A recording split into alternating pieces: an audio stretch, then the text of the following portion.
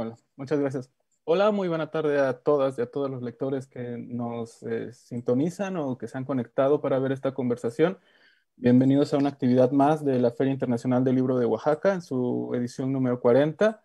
Eh, nos encontramos en la mesa, en la cuerda floja de, la literatura y nos acompañan eh, por orden alfabético Ariana Harvitz. ella nació en Buenos Aires en 1977 Estudió guion cinematográfico, dramaturgia, perdón, artes del espectáculo y literatura comparada. Ha publicado las novelas Matate Amor, premio al mejor libro del año de La Nación, nominada en su versión inglesa Die My Love a los premios Republic of Consciousness y Man Booker International del 2018. Y en su versión alemana, eh, eh Dog de Liebling, eh, al, Premio Internacional de, eh, de Literatura. 2019. La débil mental, eh, en colaboración con Sol Pérez, el ensayo tan intertextual que te desmayas. Sus libros se han traducido al alemán, árabe, croata, francés, georgiano, hebreo, inglés, italiano, polaco, portugués, rumano y turco. Y se han convertido en obras teatrales representadas en España, Argentina, Ecuador, Uruguay e Israel. Vive en Francia desde el 2007. Bienvenida, Ariana, y muchas gracias por eh, haber aceptado la participación. Está también con nosotros Mónica Ojeda, nacida en Guayaquil en 1988, tiene un máster en creación literaria y en teoría y crítica de la cultura. Dio clases de literatura en la Universidad Católica de Santiago de Guayaquil, actualmente vive en Madrid, donde cursa un doctorado en humanidades sobre literatura pornoerótica latinoamericana. Ha publicado las novelas Nefando en Almadía en 2019, que tuvo una espectacular recepción crítica, y La Desfiguración, Silva Premio Alba Narrativa 2014. En 2017 publicó el relato Caninos y otros de sus cuentos fue antologado en Emergencias, 12 cuentos iberoamericanos, eh, publicado por la editorial Candaya en 2013. También publicó eh, la novela Mandíbula hace un par de años. Mm. Eh, forma parte de la prestigiosa lista de Bogotá 39 del 2017, que recoge a los 39 escritores latinoamericanos menores de 40 años con más talento y proyección de la década. Y muchas gracias, Mónica, por acompañarnos. Eh, también está con nosotros eh, Yael Weiss, escritora, editora y traductora. Publicó Hematoma en Elefante en el 2019, Cuaderno de Violencia en París en 2009, en edición francesa, eh, constelación y apareció en la constelación de poetas francófonas de cinco continentes, diez siglos. Selección, traducción y notas con, de Verónica Martínez Lira en 2010. En 2014 realizó Archivo Abierto, la app histórica del Fondo de Cultura Económica y en 2018 la experiencia digital 2049. Radio en tu ciudad, en colaboración con Hilo Negro. Es editora digital de la revista de la Universidad de México y conductora de TVUNAM. muchísimas gracias por estar con nosotros a las tres, por aceptar eh, participar eh, en esta mesa. Eh, bueno, entonces empezamos. Bueno, intentaré ser breve en mis participaciones para que nos concentremos en escucharlas, que es lo más importante y que seguro que el público es lo que más quiere. La actividad durará alrededor de 45 minutos y hacia el final espero poder eh, compartirles eh, preguntas del público, que también es de lo más interesante de las ferias, ¿no? el, intercambio entre autoras y, público. A mí me, emociona y me honra mucho estar con ustedes. el trabajo de las tres es, eh, para mí es muy emocionante. Me, es, muestra clara de que la escritura de mujeres es la, quien, es la que está ahorita em, confrontando más y se está atreviendo a llevarlas eh, a romper muchísimas más fronteras, ¿no? Actualmente. Así que bueno, em, me gustaría empezar, como les decía, con una pequeña pregunta. Eh, al, leerlas, tuvimos la impresión de que las tres trabajan con los bordes eh, entre lo considerado normal y la absoluta ruptura con ello. Una especie de reverso de aquello que asociamos con la tranquilidad, la estabilidad y la cordura. Eh, y me gustaría preguntarles eh, a partir de esta reflexión, ¿en dónde radica, para ustedes, en dónde radica la importancia de trabajar con estos límites, el no ocultarlos o bordearlos, sino afrontarlos y explorarlos frontalmente? No sé quién quisiera empezar. Eh, ¿Te parece a ti, Yael? Ah, yo. Este, por abrir mi bocota, ¿verdad?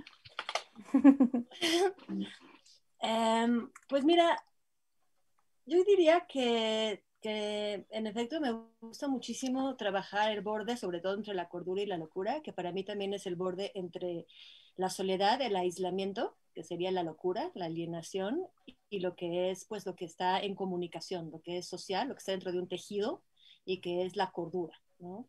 Siento que compartimos un mundo porque eh, estamos en cierto modo de acuerdo y todo el tiempo, digamos, tocando base para eh, estar, volvernos a asegurar unos a otros que estamos compartiendo el mismo mundo. Por eso hablamos y por eso nos comprendemos. Cuando alguien empieza a mm, delirar, cuando alguien empieza a no estar compartiendo exactamente el mismo mundo, las mismas cosas, no ver la lámpara que todos están viendo o no ve eh, o no está al tanto de que nos está que nos pusimos todos de acuerdo para votar por un presidente y que estamos todos de acuerdo en que nos gobierna un presidente, si no esta persona empieza a pensar que las cosas son diferentes, nos damos cuenta que pues está en ruptura con la normalidad o con el mundo compartido. Entonces, a mí me gusta explorar esto primero por razones personales, porque le tengo quizás un pánico a la locura, a la alienación, que puede seguirse del lado de la locura. Y en este sentido, quizás lo que más miedo me causa no es tanto la locura en sí. Siento que una vez que estás completamente del otro lado del lado de la locura, quizás ya no estás en sufrimiento. Lo que me interesa o lo que me da miedo es el sufrimiento del pasaje, de cuando todavía no estás del lado de la locura o te das cuenta de, de de que los mundos, tu mundo y el mundo de los demás ya no están empalmando. Entonces, eh, también siento que, o sea, algo que me, quizás lo que más me problematiza en, la existencia, y lo trato de explorar justamente en la literatura, o por lo menos en lo que escribo, es justamente eh, el dolor. Y siento que el dolor está, el sufrimiento está ahí, en no saber, en la duda, en no saber exactamente eh, en dónde estás parado, sino estar como en un, en un, en un borde eliminar, ¿no? Em, también lo asocio al mundo de hoy, siento que los personajes, los personajes que me interesaron en el libro Hematoma, que es al que haces referencia, me supongo con esta pregunta, son, son personas que están muy aisladas y que tienen poco contacto físico con el mundo exterior. De hecho, están buscando un contacto físico, por ejemplo, un contacto a través de los hematomas. Los hematomas dejan marca de que tú eh, estuviste en contacto con un objeto y ese objeto te, te, te dañó y ahí está la prueba, es una huella es, una, es el testigo, digamos. Entonces, este, me, remite mucho al mundo de pantallas de hoy y cada vez más, ¿no? Donde no estamos en contacto con otros humanos, pero no estamos en contacto físico. Es otra vez el límite entre estar con los demás, pero no poder tocarlos, ¿no? Te divide de los demás lo que te divide es tu piel. Por eso las marcas que dejas, que, el mundo marca en tu piel, me parecen tan importantes. Las marcas que portas en el cuerpo son marcas que te eh, comprueban que estás en el mundo, en el mundo donde hay otros objetos. Esos objetos, los dos objetos, tu cuerpo y los otros objetos y los otros cuerpos no pueden ocupar el mismo lugar al mismo tiempo, ¿no? Y entonces hay una colisión, hay un choque, hay un dolor físico.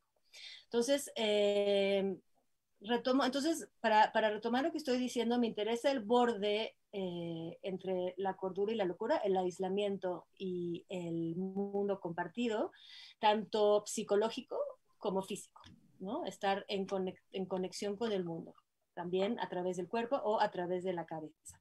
Entonces, em, pues sería como, como, no sé si quisieras que aborde un poco cómo hacen los personajes. Me gusta seguir personajes en algunos cuentos que, experimentan eh, un despegue de la realidad, justamente pero no, y se, y se siguen sobre este despegue, o sea, nunca sabes si el personaje realmente está loco o está atestiguando correctamente de lo que, lo que está viendo o lo que está sucediendo. Este, ¿Por qué? Porque no tienen a esta persona, por ejemplo, hay un personaje en un, en, en un cuento que se va de rescatista en un terremoto. Una persona que, tiene, que está dentro del mundo de la normalidad, que está insertado en un tejido social, probablemente le explicaría, llamaría a su madre o llamaría a su mejor amigo, ¿no? Oye, fíjate que estoy a punto de disfrazarme de topo e ir al rescate de en los derrumbes de un reciente terremoto. ¿no? Creo que es una buena idea que puedo apoyar para rescatar gente. Obviamente la persona le diría, pues yo no creo que es una muy buena idea eh, lo que estás proponiendo porque es muy peligroso y te puede pasar algo, eh, te puede haber derrumbes, o sabes qué, te acompaño, espérate, déjame ver este, para cuidarte, o por lo menos reportar, o sería bueno llamar a topos. Al no haber este contacto con otras personas, al estar desprendido de un tejido social, al estar en cierto modo ya del lado de la locura, eh, el personaje no, no contacta con nadie y va a comete actos que en cierto modo podríamos pensar que son absolutamente descabellados pero siguen una lógica interna, nada más que una lógica que ya se desprendió del acuerdo común de lo que es lógico hacer, ¿no? Es una lógica que ya nada más ve la persona. Y entonces, em, concluiría diciendo que eh, todos estos personajes que cometen cosas, eh, actos extraños que a veces vemos en la prensa o que uno se encuentra el día al día, lo que me gusta justamente es evitar este dolor de sentirlos lejanos, incomprensibles, sino traerlos de vuelta hacia lo humano, meternos como en su lógica y darnos cuenta que finalmente sí es una lógica en la que todos podríamos caer, que todos podríamos llegar a esa locura en cierta determinada circunstancia si estamos solos ante ella, ¿no? Entonces, reconocernos en, en, la locura del otro es en cierto modo también romper la barrera que nos separa de todas esas personas que están ya alienadas o que ya están un pasito más allá en el aislamiento y en en una manera de actuar distinta que nos choquea, pero que es comprensible. Es lo que diría.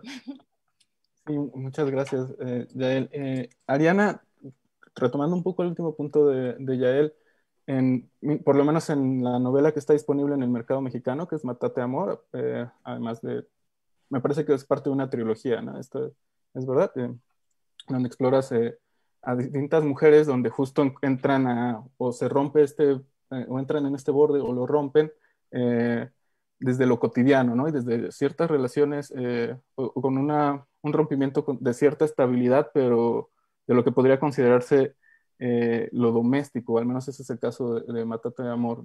¿Podrías platicar un poco más, ¿no? De dónde surge esta idea de trabajar justo con esta, la ruptura desde el interior de estos pequeños núcleos, ¿no? Sí, bueno, em, estoy con, el terror de que se, corte la comunicación. No, cuando yo entré a la Universidad de Buenos Aires, la primera clase que tuve, que estudié filosofía, después me pasé a artes y después a literatura, la Universidad de Buenos Aires, recuerdo que una de las primeras clases decían esta frase que creo se la atribuyen a Proust, que es algo así como que el arte radica o reside en el cristal, que Em, en el, cristal que rompe la costumbre, ¿no? Romper el cristal de la costumbre. Y siempre me quedó eso, ¿no? Romper el cristal de la costumbre. Y después todas las otras frases que remiten al propósito de cualquier arte, en este caso nosotras escribimos libros, novelas, ensayos, pero cualquier arte sería lo mismo que todo propósito, toda causa, es una cosa obvia lo que digo, que es se trata de desacostumbrar el lenguaje, desalienar, vamos a coincidir todas, porque no es nada novedoso lo que digo, no es una, una, cosa muy novedosa. Eh, todo, el ejercicio absoluto que yo que me propongo y para empezar es eso que tiene que ver con romper la lógica de una lengua, pero también romper una lógica así, de, una costumbre, de algo heredado, ¿no? Y en ese sentido estoy de acuerdo totalmente con, con Yael. Mis personajes, y creo que los de Mónica también, ya hablaremos, siempre están en el filo, en el borde, en la frontera, ahí a cinco minutos de ser criminales, a cinco minutos de ser considerados normales, ciudadanos nobles, normales, que no deben ser encerrados, a tres minutos de poder eh, ser una madre que, merece ser encerrada o que, o que puede matar a su hijo. Es lo único que me interesa a mí, quizás porque vengo del teatro, ahí es donde encuentro la fuerza dramática, el conflicto dramático. Lo único que me interesa contar también, decía un dramaturgo, es un, dicen un poco prosaicamente, un buscador de mierda, ¿no? En el sentido de que cualquier escritor de lo que se trata es de ver lo que no ven otros, ¿no? Para ver lo que ven todos, mejor no escribir y quizás dedicarse a, alguna tarea un poco más noble, que dé más dinero, que deje más en paz a uno, ¿no? Porque entonces digo que alguien decía que el amor empieza por la mirada, no me acuerdo cuándo en cine decían el amor, quizás muy románticamente, no sé si un pintor lo dijo, el amor empieza por la mirada, yo diría que el arte también, ¿no? Entonces yo lo que trato siempre cuando escribo no es de escribir, porque escribir es lo último, lo primero que trato es de mirar. En el caso de Matate Amor, que después le sigue la débil mental, precoz, degenerado, trataba de mirar a las madres, mirarme a mí misma, pero también mirar a las otras, mirar a los hijos, mirar qué encontraba en ellos de monstruoso, de criminal, de abyecto, pero también de bello, ¿no? Por supuesto, qué encontraba de horrible y de precioso, dónde encontraba el borde en, el cual un hijo se transformaba en un enemigo de su madre. Y todo el ejercicio de Matate Amor es, fue el ejercicio de ver, ¿no? de mirar. Y cualquier cosa ¿no? que se mira suficientemente, un tiempo suficiente, se convierte en monstruosa. ¿no? O sea, miras una persona besarse con otra en la boca y es bellísimo, te acercas, te acercas, te acercas y es monstruoso, ¿no? Es ahí una especie de cosa horrible. Entonces creo que es eso. No me imagino escribiendo de otro modo que no sea tratando de captar, de mirar, así como si fuera alguien que ve muertos, ¿no? También pensaba en los muertos de Joyce, en, las películas de terror, ver, ¿no? Ver, ver fantasmas, ver muertos. Eh, escribir se trata de eso, ¿no? Ver lo que no ven otros. Y siempre lo que no ven otros es algo que está oculto, que está en el límite, ¿no? No sé si se escucha algo, porque me siento que estoy hablando sola en una montaña. Se te escucha perfectamente. No, es que es muy terrible esto, porque la veo ahí, veo a todos quietos, digo, estamos todos muertos, estoy hablando sola, pero bueno, eso me parece que es eso, escribir es ver, ¿no? Y Mónica, ¿tú qué, nos podrías contar respecto a tus novelas? También, eh, digo, leerlas es siempre una experiencia, es una confrontación contigo mismo y con muchos valores, eh, eh, pues, normales, ¿no? Valores como que parecieran que se tocan temas, pues sí, tabú, que no, preferible no hablar de ellos, ¿no? Ocultarlo por completo. Y tú, al, contrario, nos sumerges como lectores, pero como escritora también, en temas que eh, nos, eh, nos, desestabilizan por, completo. Y, creo que ninguna, pocas novelas eh, de, las, tres pasa, pero en las tuyas también muy fuertemente me han em, dejado tan claro el verbo descolocar, ¿no? cómo, es que decides tú trabajar con este, con estos temas y con estos límites? Bueno, mm, eh, sí, sí, había un escritor ecuatoriano que se llama Mario Campaña, que tiene un libro que se llama Bajo la línea de flotación y que justamente en ese libro lo que dice, bueno, dice muchas más cosas, por supuesto, pero solamente voy a sacar arbitrariamente esta, esta parte, ¿no? Que escribir para él es como estar constantemente bajo la línea de flotación, ¿no? Que implica, pues esta es una metáfora así como muy de perogrullo en, en cierto sentido, pero ahí está muy bien explicada y como y además como muy bien utilizada, pero pero eh, significa como tratar de ver, ¿no? Un poco lo que decía Ariana y lo que decía ya él también, se trata eh, tratar de mirar allá donde es difícil mirar, no porque esté, esté necesariamente el tema muy oculto, porque a veces incluso las cosas que, que, yo trabajo en mis novelas son cosas que son de todos los días y que están ahí todo el tiempo. No es que sea algo de difícil de encontrar, sino más bien que la cordura o digamos este, este lugar de cordura social implica que miremos estas cosas, pero las atravesemos, como que no, no seamos capaces de realmente hacerlas tangibles, como si fueran fantasmas las cosas a las que llamamos horribles o incómodas o tabús, em, como si fueran fantasmas transparentes, algo no tangible y, está rondándonos todo el tiempo, pero pues hacemos nuestras vidas normalmente como si no ocurriera absolutamente nada, ¿no? Y esto, esto tiene que ver también con un concepto que a mí literariamente me interesa mucho, que es el tema de lo, de lo siniestro o de lo ominoso, ¿no?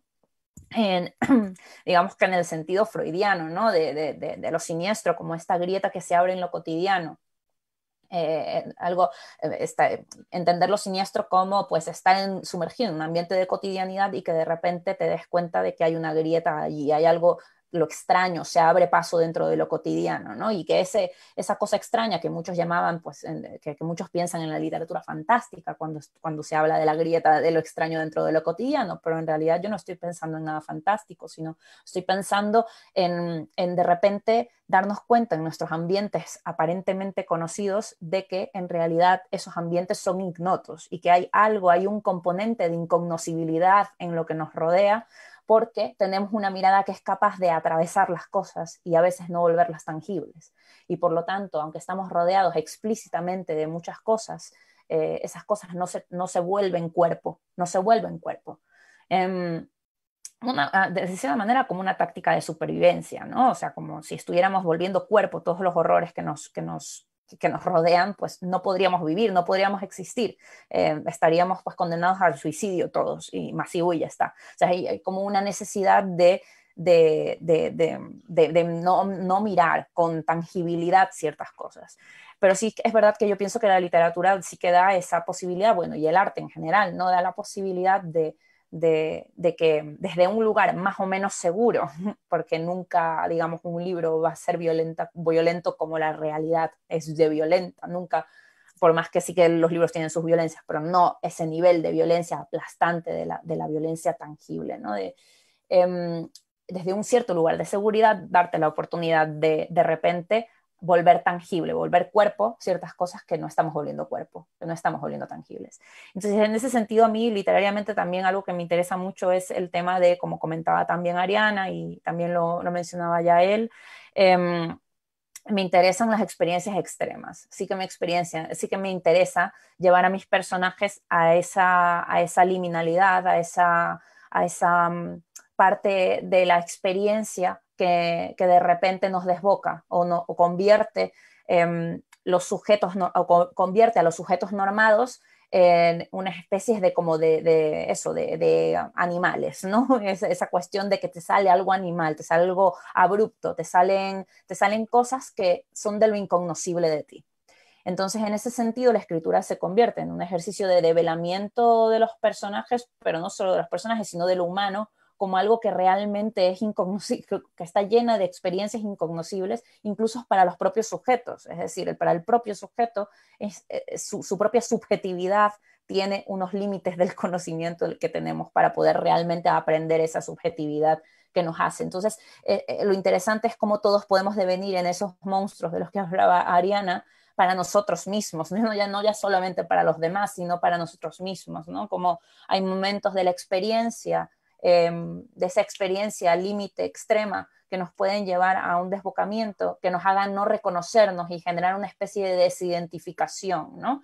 Y en ese sentido también, pues, digamos que no solamente son el tema de los personajes, sino también del mismo lenguaje, ¿no? Que también em, la posibilidad de que el lenguaje sea un, digamos, un, lugar dislocado, ¿no? Como lo que hablabas tú, ¿no? Como una especie de lugar en donde en donde la experiencia poética se abre paso precisamente porque se desordena la norma, ¿no? Y en el momento en el que se desordena la norma y se desordena también em, el sentido, y o, más o menos se desordenan los significados, y lo que se hace con ese desorden de significados es que se abren los sentidos, es donde ya entra, digamos, ese lenguaje que también está en el borde, que es el lenguaje de la experiencia poética, y que creo que está presente también en, en la, en, la, en la, narrativa de todas nosotras, ¿no? entendiendo que las narrativas también pueden tener esa, esa, esa, experiencia con el lenguaje, en donde el lenguaje no sea meramente instrumental ¿no? para contar la historia, sino que también funcione como un aparato de generador de sensaciones. Diría eso, por lo pronto.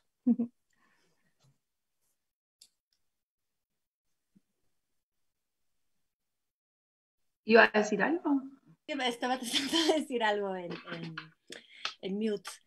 Eh, me, gustaría como rebotar con lo que dices del monstruo, eh, del personaje que, número uno, que va al límite, ¿no? Que nos hace preguntarnos, bueno, ¿qué lo llevó ahí? Y también del monstruo, el personaje raro. Y siento que la escritura, en cierto modo, va al rescate de ese monstruo que se ha apartado.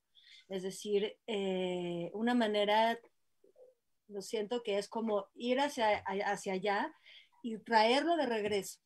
Es decir, traerlo de regreso entre nosotros para verlo. O sea, lo que quizás a veces llamamos morbo, morbo por lo raro, por lo desviante, por lo, pues sí, por lo monstruoso, por lo siniestro, es también esto que nos da miedo, esto que nos parece extraño, extranjero, y que a través de la escritura alcanzas y en cierto modo traes, sobre todo si es a través de personajes. El personaje monstruo lo reinsertas dentro de, pues, de la comunidad, dentro de, porque todos al final reconocemos algo de este personaje. De lo que se trata es de comprender a este personaje, incluso comprenderlo dentro de su radical diferencia, pero es volverlo a integrar en el discurso, en el mundo compartido, si quiere. Sí, no, me parece que estamos las tres cada uno con su estilo, ¿no? Que eso se trata, ¿no? Hablando un poco y acordando, ¿no? No, va a haber mucha pelea, porque creo que es eso, estamos las tres instaladas en un borde. No, lo, simplemente quería decir que siempre me atrajeron los perros siberianos, no porque me ponga a hablar ahora de lo que me atrae, ¿no? de las atracciones de cada una, pero siempre me atrajeron esto de los, de los perros siberianos, o no sé cómo se llaman los perros que, están ahí en los sulkis, en, la arena, en la arena, en la nieve, y que dicen que justamente pueden escuchar, o también los perros, ¿no? En general, cuando a la avalancha mucho antes que el humano, ¿no? Cuando va a venir la avalancha de nieve mucho antes, mucho antes, tiene la capacidad de saber, ¿no? Y los, animales en general, cuando va a venir el tsunami o el desastre. Y eso me parece que es también un escritor o un artista, ¿no? Tener esa, ese oído absoluto, no sé cómo llamarlo, ese otro sentido, sexto sentido, esa otra dimensión que ve lo que otros no ven, que escucha antes de lo que va a pasar, ¿no? Esa, esa relación con la realidad, con la época, y que es, penosa, se padece y a la vez es una bendición para escribir, ¿no? Por lo menos es la relación que tengo yo con eso, no porque me considero un perro siberiano, pero a veces digo, esto no lo están viendo, esto no lo están viendo, esto. En una familia, en una casa, digo, ¿eh? ¿eh? acuerdo con Mónica también en eso, en lo doméstico. No lo están viendo y miro para todos lados y veo que no, que están desayunando normal. Yo estoy sufriendo ahí, pero bueno, después está el descargo y, y la justicia, va, una suerte de justicia que se hace es porque se escribe, ¿no? Y se vuelve una página. Entonces digo, bueno, por lo menos tengo eso, ¿no?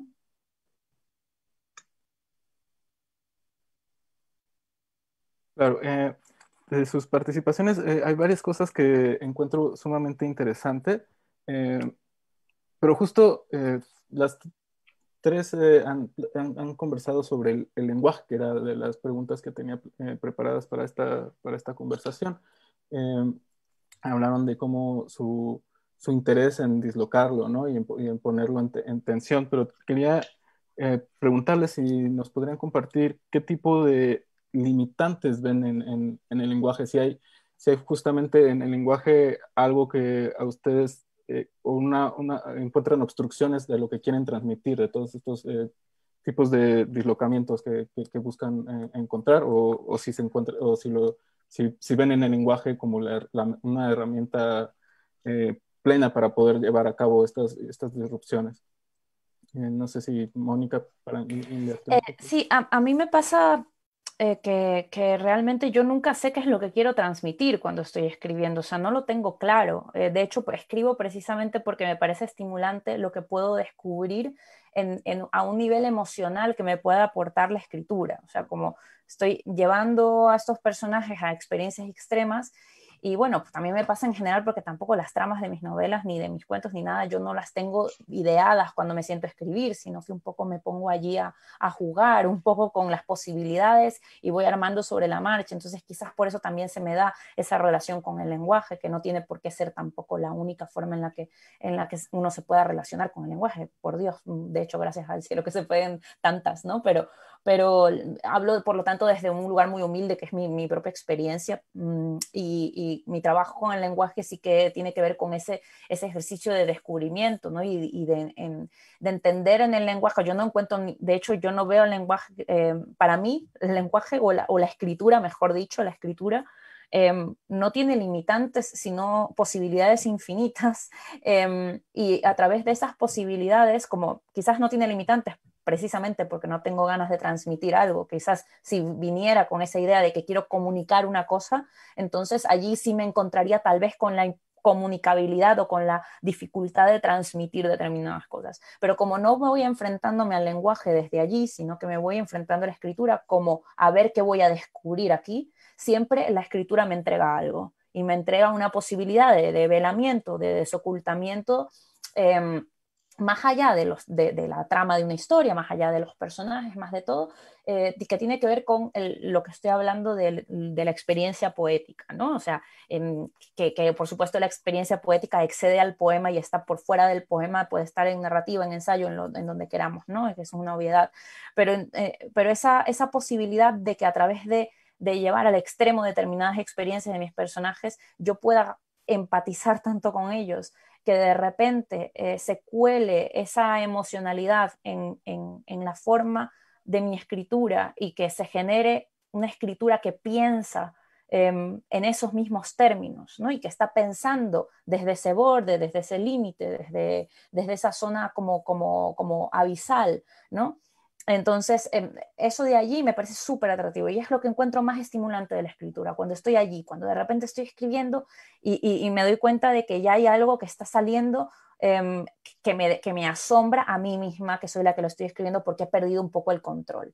Y eso es otra, otro aspecto, ¿no? También algo que me gusta de la escritura es la posibilidad de que uno lo empieza pues con un poco de control, por supuesto, pero llega un punto, o a mí me interesa llegar a ese punto en el que de repente me doy cuenta de que ya no estoy teniendo todo el control de que ya hay algo, hay una pulsión eh, que, que, está funcionando por su propia cuenta y que, y que me devela un carácter como desbocado de la palabra o indomesticado, eh, o es la parte indomesticada del de, lenguaje, que es lo que cuando escribimos poemas, por ejemplo, eso ahí sale y, son los buenos poemas cuando uno está eh, con esa relación indomesticada, ¿no? Pero pues sí que, sí que eso de allí es algo que, busco, desde mi relación personal con el lenguaje en la escritura, ¿no? O sea, Totalmente, totalmente. Eh, bueno, yo siempre empleo absolutamente de acuerdo con mi amiga y compañera Mónica. Eh, no es demagogia, porque si no estuviera de acuerdo lo diría, me encanta disentir, pero bueno, no se puede tampoco forzar el disentir, ¿no? O sea, tampoco vamos a inventar enemigos donde no hay. Eh, no, estoy totalmente de acuerdo. La primero, que escribir y el lenguaje son una experiencia, no podríamos hablar horas de eso, pero bueno, es, básicamente una experiencia, la experiencia de una aventura. Acá dijo control, estoy de acuerdo, la experiencia de una cierta pérdida de control, no quiere decir una pérdida absoluta del control, ya se sabe, sino que por supuesto hay que eh, tener agarrado el caballo de las riendas de algún modo, esta metáfora también conocida de la, de la, lengua, el lenguaje como un caballo, que hay que dejarlo desbocarse, hay que dejarlo recorrer, pero también hay que poder agarrarlo. Pero me parece que si yo no doy clases, nunca no doy talleres ni nada, pero si los diera en otra vida o en una, en una propuesta, en una hipótesis contrafáctica, diría, primero que nada, escribir es una experiencia, es una experiencia de misterio, es una experiencia, es una aventura, una aventura etimológicamente una aventura, no sabes lo que va a pasar. Eh, si, supe, si sabes de antemano lo que va a pasar, para mí eso no es escribir. Entonces tenemos que inventar verbos distintos. Por ejemplo, hay escritores y escribientes, no sé, o escribo, o no sé. Pero eso no es escribir, eso es hacer así, que se arman palabras. La experiencia entonces de la escritura, como lo vive Mónica, bueno, seguramente ya él, como lo vivo yo, cuando me siento a escribir Matate Amor Degenerado o la próxima novela, no sé lo que va a pasar y me gusta no saber lo que va a pasar. Eh, no sé casi nada, sé muy poco. Eh, eh, después, otra cosa es que el enemigo número uno también, ahora sí, el enemigo es la convención. Yo digo, ¿qué enemigo tengo? Bueno, tengo enemigos, por supuesto, pero también es la convención. Entonces, cuando escribo trato siempre de correr los velos del lenguaje, salir del registro de la, de la órbita, del, ratio, del terreno de la convención. Es muy difícil, parece fácil, parece una pavada, pero yo digo que acá levanto la mano y digo que es dificilísimo salir de verdad de la convención.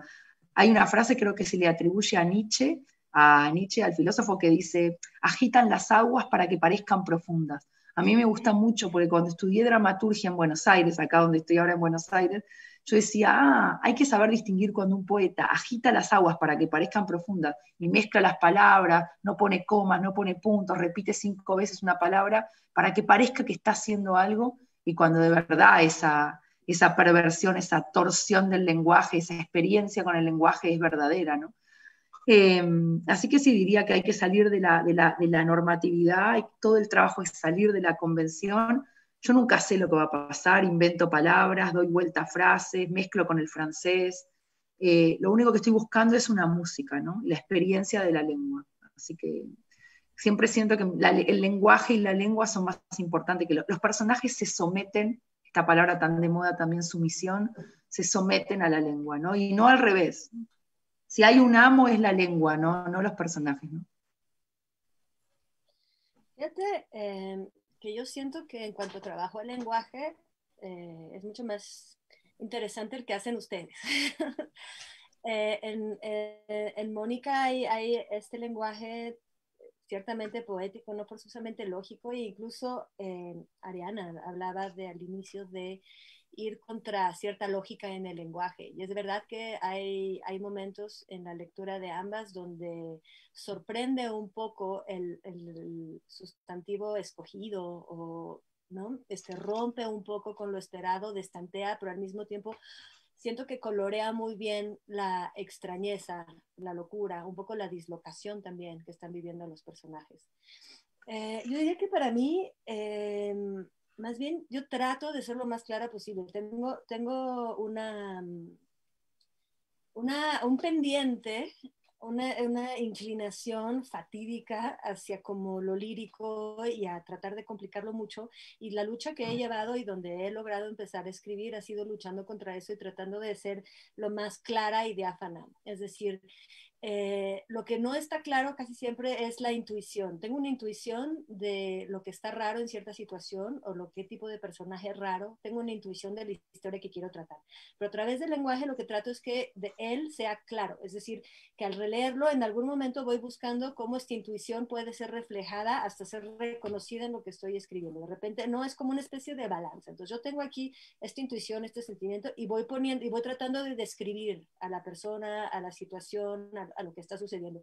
Y, voy corrigiendo hasta que siento que, esa cosa que está ahí escrita está reflejando bastante claramente, justo, como con claridad, con diafanidad, lo que yo estaba intuyendo. ¿no? que es exacto, el exacto reflejo y que las demás personas pueden llegar y pueden leerlo y pueden comprender eh, cada palabra y pueden ver lo que yo estoy viendo, si quieren.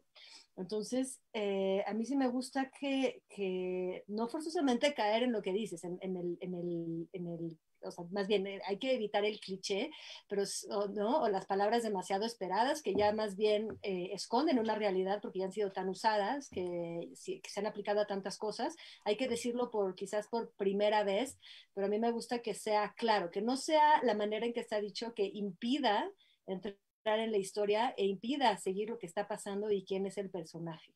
Entonces, em, pues yo diría eso, a mí mi, mi, mi, mi, lucha contra el lenguaje es para que sea claro. ¿Eh? Ah, sí, perdón.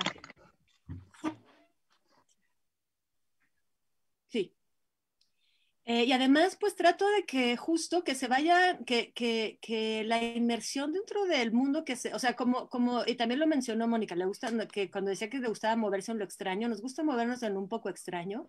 Por supuesto que lo extraño es lo que, lo que hace la literatura, y como decía también Ariana, pues extraño es cualquier cosa que te detienes a ver con suficiente atención. Incluso una palabra, hablando del lenguaje, ya todos, todos hemos tenido la experiencia de esta palabra que uno empieza a repetir y repetir y repetir hasta que ya no quiere decir nada y dices, ¿cómo esta cosa alguna vez significó lo que significa? Está demasiado extraña, ¿cómo pude haberla aceptado por descontado, eh, siendo que eh, es la palabra más rara que he escuchado y ya no siento que significa lo que siempre significa?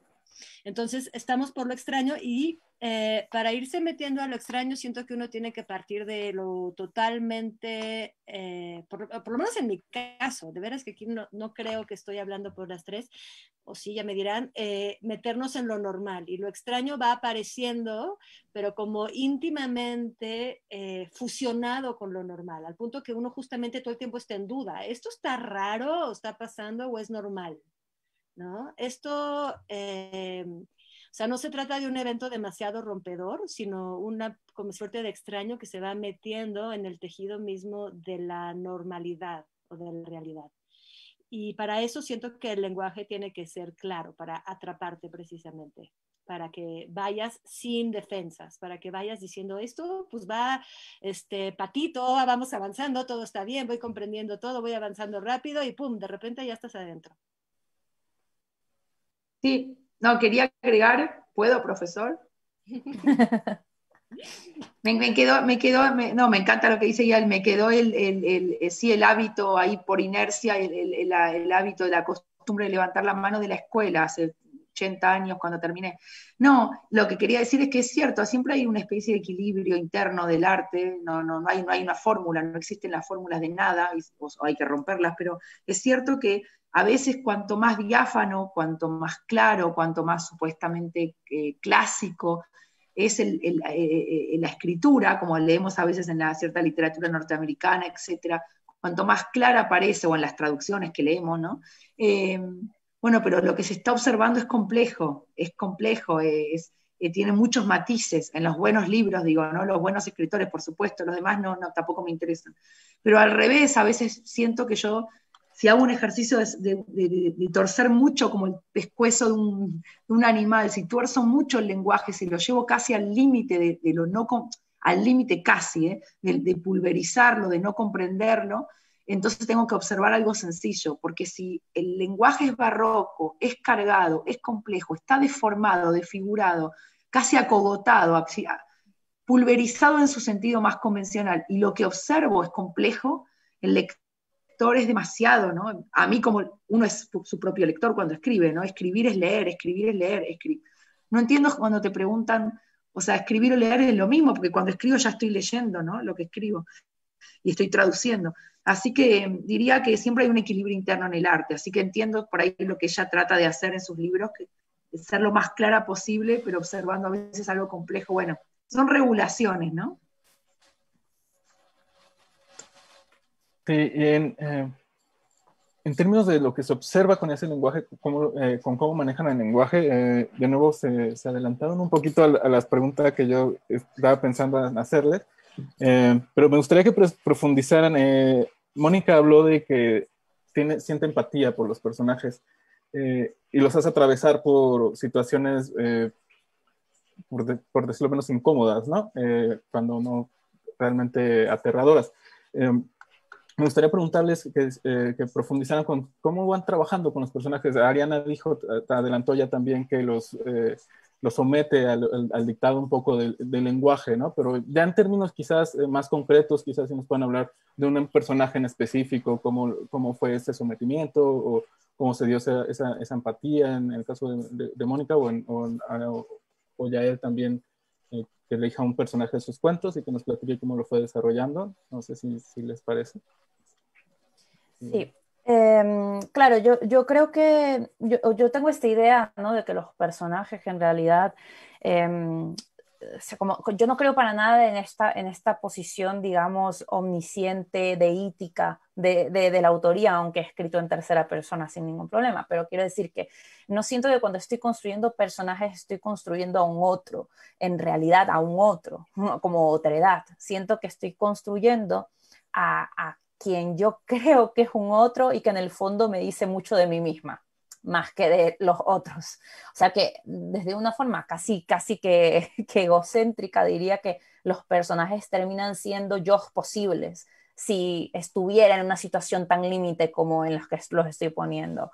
Mm, yo posibles si yo fuera pues una persona que no soy, ¿no? O sea, o si descubriera que no soy quien creo que soy, ¿no? Entonces como termina siendo como, como un poco asumir que mi mirada sobre los demás siempre termina perfilando a los demás cuando escribo, ¿no? Entonces, ya desde esa asunción trabajo eh, y trato, por supuesto, que los personajes tengan sus propias características, ¿no? Eh, pero sí que, sí que me gusta la idea de que estos personajes eh, sean capaces de em, eh, de, reaccionar frente a la grieta, ¿no? De lo que estábamos, de lo que estaba yo hablando antes, ¿no? Del tema de la grieta, lo siniestro, ¿no? La grieta dentro de lo cotidiano, ¿no? Lo que me interesa es poner al personaje frente a la grieta, ¿no? Y que de repente cada personaje, dependiendo de sus, de sus características, va a reaccionar de una forma distinta ante esa grieta.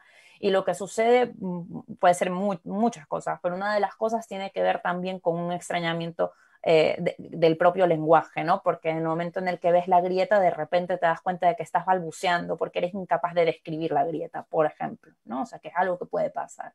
Un personaje que se quede sin, con, el con el lenguaje dinamitado por la grieta, ser incapaz de contar la experiencia, ser incapaz de hablar de la grieta, ¿no? Eso es una posibilidad. Pero luego también hay otros personajes que sienten fascinación por la grieta y la fascinación desemboca un deseo y un deseo que está alojado, por supuesto que en el miedo que genera la grieta, pero también en esa fascinación. Entonces, eso también es una respuesta posible. O sea, las respuestas posibles ante la grieta son tantas, ¿no? Y por eso hay tanta multitud de personajes posibles, ¿no? A los que uno se puede enfrentar. Pero en todo caso, sí que me, sí que me, me parece interesante mm, desde, desde, mm, desde pues, el lugar en el que he escrito siempre o, que, o en el que me suelo mover. Eh, pensar en estos personajes como agentes de, sus propias reacciones con la grieta, ¿no? que, casi que eh, su, propia constitución me van develando cómo, voy a hacerlos reaccionar. ¿no? Y por ejemplo, ahora eh, publicó un libro de cuentos que, que, se llama Las Voladores, está publicado con páginas de espuma, y tuve un, tengo ahí un cuento que va de una niña que está rodeada de sangre todo el tiempo, ¿no? Para poner el ejemplo que tú pediste, ¿no? Pues está tiene una vida, está en un contexto muy hostil esta chica, muy hostil. Em, su abuela es abortera en, en, una comunidad muy rancia, muy, muy así de cerrazón total. Entonces ella asiste a esos abortos clandestinos eh, que, que, le realiza a todas las mujeres del poblado, pero además viven en un, como aislados en una montaña con unos animales que la abuela también mata, entonces ve esa sangre, pero también la sangre de las propias violencias que otros hombres generan en su cuerpo porque pues, es una chica a la que violan en algún punto, em, pero también la sangre menstrual de su cuerpo que empieza a madurar antes de lo que ella pueda madurar. Está rodeada de sangre esta chica de principio a fin, ¿no? Eh, eh, una infancia violenta y, tal. Y, entonces ella em, se da, o sea, es incapaz de, se cuenta en primera persona y es incapaz realmente de describir o de apropiarse de todas las violencias que ella sufre, ¿no?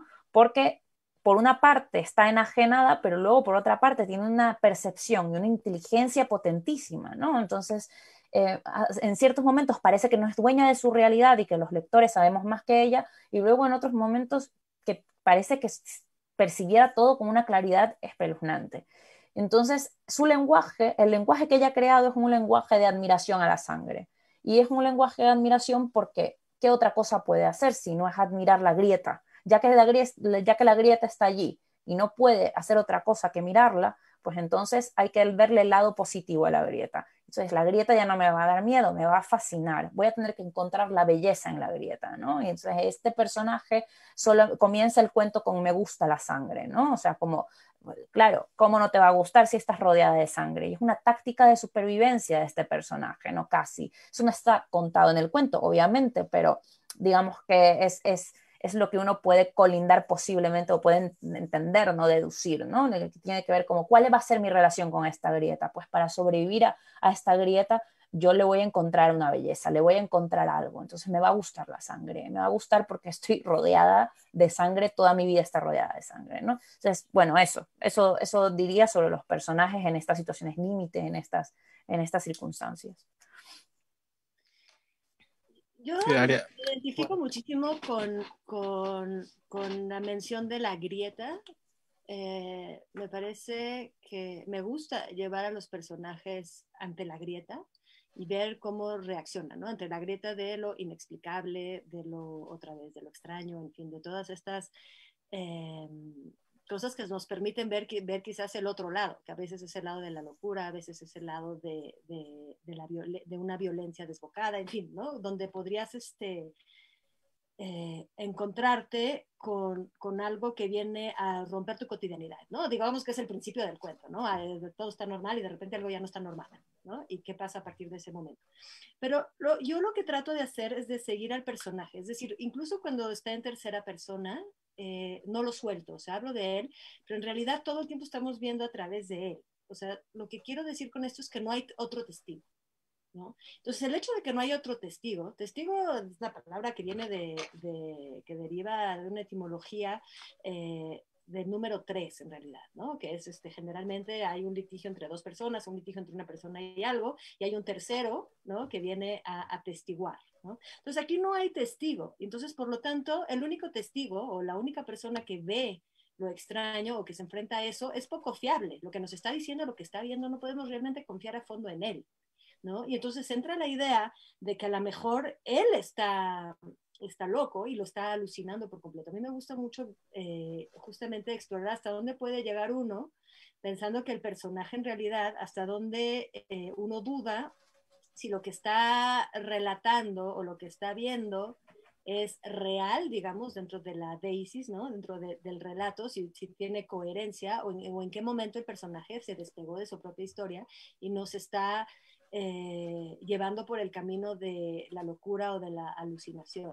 Entonces, eh, yo esto, esta como duda entre cordura y locura, la trato de lograr de esta, de esta manera, es decir, eh, todo al ser visto por una sola persona, no hay manera de comprobar nada, no hay una segunda, no hay otro personaje, hay a veces otros personajes con los que platica, pero nunca del evento que cambió todo.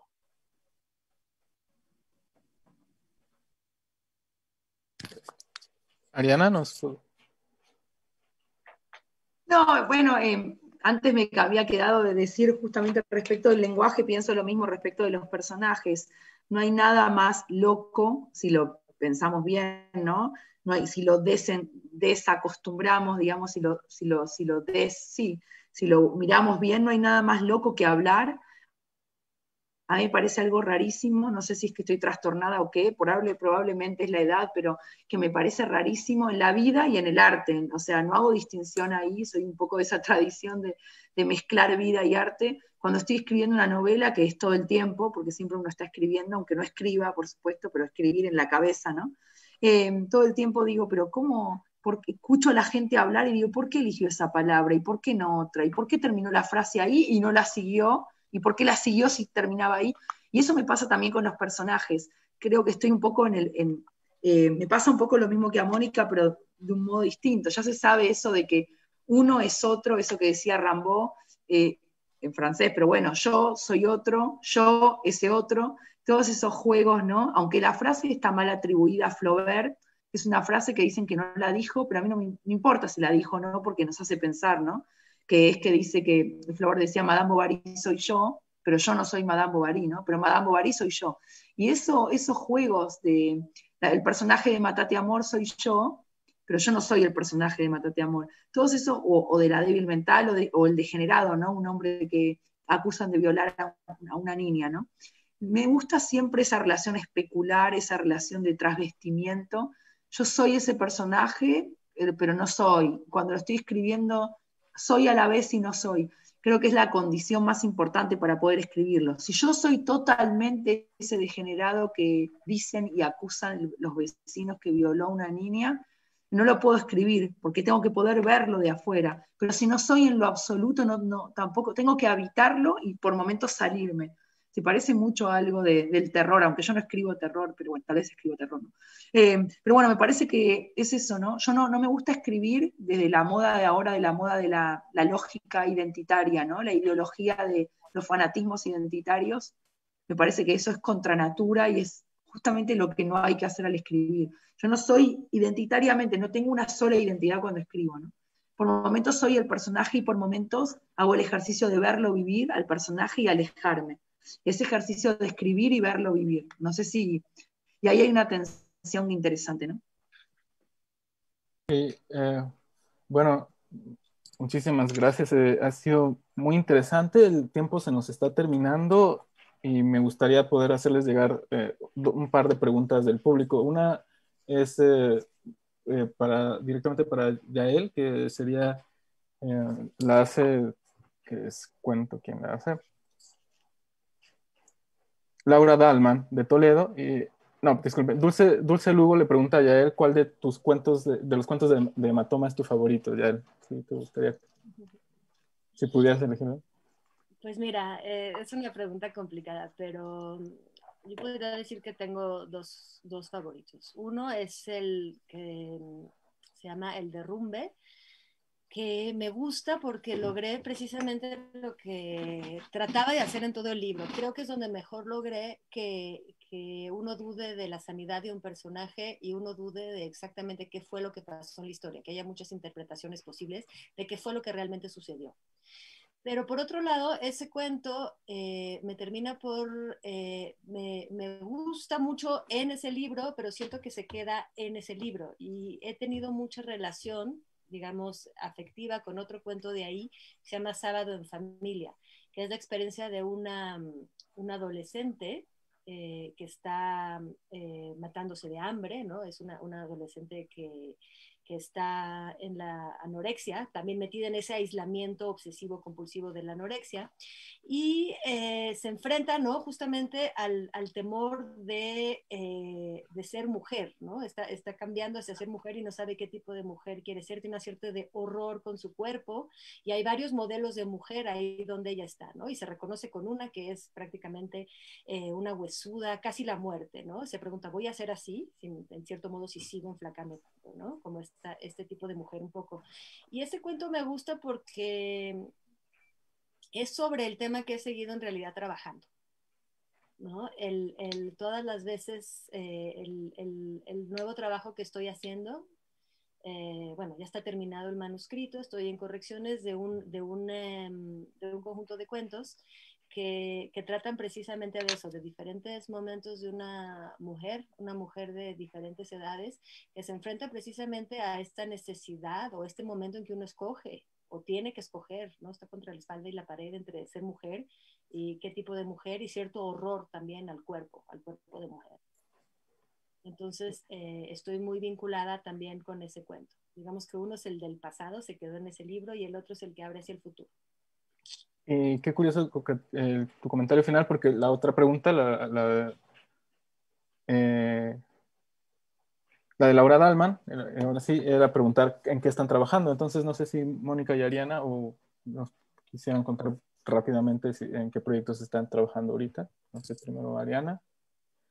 Sí, rápidamente. Em, estoy observando eh, todo ese periodo antes, preescritura, que es eh, eh, ahí observar la vida, robarle a la vida lo más posible. Es lícito robar, ¿no? está buenísimo. No, no, solo que no es ilegal, sino que es, lo que hay que hacer.